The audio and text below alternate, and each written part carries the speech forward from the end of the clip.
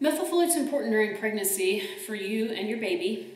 Um, how come all the doctors don't seem to be on the same page about this yet? Uh, you might be surprised uh, to learn that folic acid is probably not very good for you in actuality.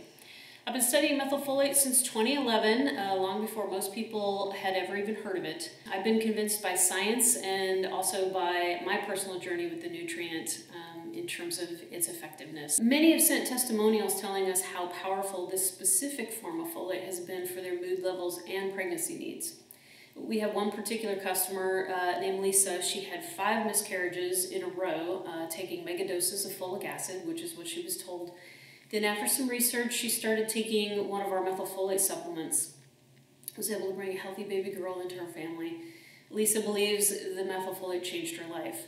And I know the right kind of folate totally changed mine, which is why I'm working hard to make sure that the folate we provide in our products has the best chemistry and the quality on the planet.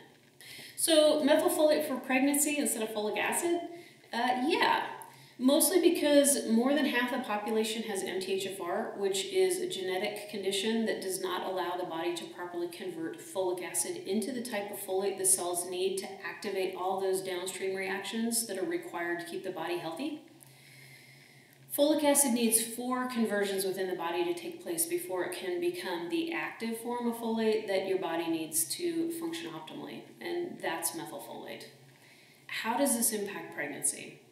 If the body isn't in a healthy place, able to make the right kind of healthy home for the baby, and giving all the nutrients, enzymes, conditions that it needs, the body will early abort the fetus, resulting in a miscarriage.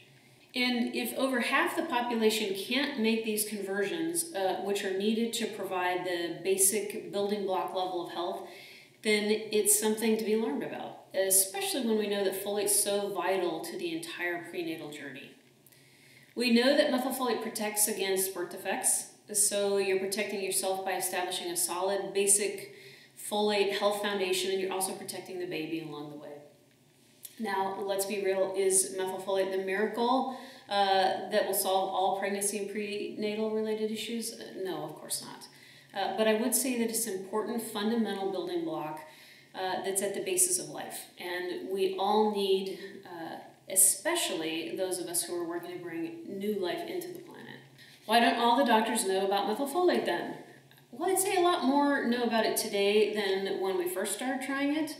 Uh, no one had heard of it yet back then. I would venture to say that if you're having a lot of trouble with fertility and have gone to see some specialists, uh, they might be more prone to understanding uh, its importance and how MTHFR, or this genetic variant, affects folate metabolism.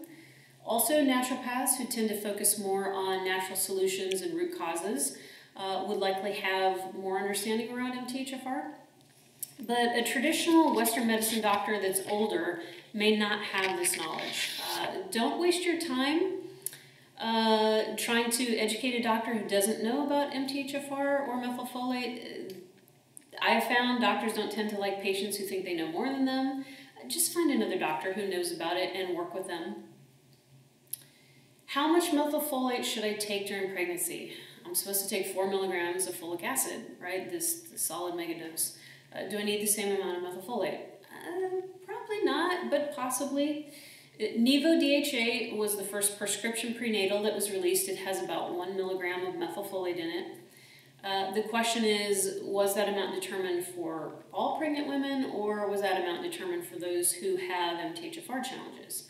My general thought is that anywhere between 1 to 3 milligrams of methylfolate uh, daily is probably a good amount for a pregnant woman. Probably 1 milligram is enough if you're not dealing with a faulty folate metabolism gene. Maybe 3 milligrams is better if you are struggling with MTHFR or having difficulties keeping the baby. It's important to know whether or not you tolerate methylfolate well. So check out our side effects video to understand a bit more about them in case you're concerned about that. Most people tolerate methylfolate at those doses just fine. But as with all things, we're all individuals and we're all different, and there will be some people who don't feel good taking that amount of methylfolate. So just pay attention to your body. A quick plug about our methylfolate it is the most pure version on the planet, uh, tested by a former 35 year Merck chemist uh, who's in Switzerland now. but it is internationally patented and it is the most identical to today's pharmaceutical version, uh, which means it's built on a crystalline calcium salt molecule for maximum stability and therefore potency. We have only the active 6S isomer in our methylfolate, uh, so be careful not to get a racemic version of folate that's cheap, because uh, there's plenty of them out there. Uh, however, they'll be tainted with half of the nutrient, including an inactive form, uh, which is the 6R isomer, and it won't be pure or high grade quality, so be aware of that. The cheap methylfolates are often much less potent and effective. If you're going to go with a methylfolate, go with a company who's been living, breathing, and taking it personally themselves for the last nine years, not just a company who's trying to make a quick buck by selling you um, what you think is a good deal on your cheap methylfolate. Don't risk quality when it comes to your health and what you put into your body. So if you liked our video, please give us a like, a subscribe, share it with a friend. Uh, the more you interact with us and engage with us, the more people can find us that come after you. So we want to get the information out. Thanks so much.